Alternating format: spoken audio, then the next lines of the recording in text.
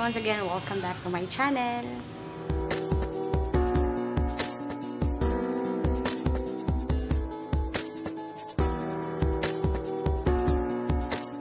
Ayan, so today po, andito po ako sa Boylin Pension Plaza and dito po ang aking event. So, ito yung aking first event for today since mamaya doon naman po ako sa ACI Convention Center. So, ayan po, ipapasilip ko po muna sa inyo ang ating uh, ceremony and reception venue since dito rin held ang ating wedding. And today guys, uh, my first wedding, um, wedding singer lang po ako.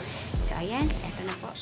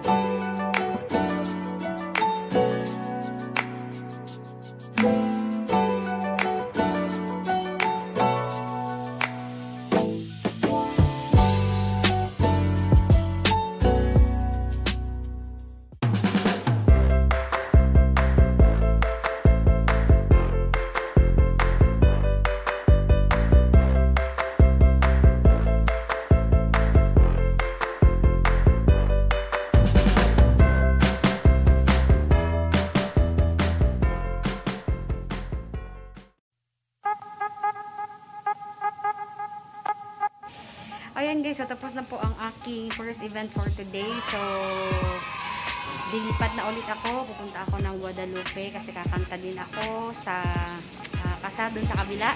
So, singer and MC ako dun sa kabila. So, punta na po ako sa simbahan. So, ayun, once again, thank you so much for watching and I also wanna thank Love and Details for always patronizing me as their uh, singer or MC.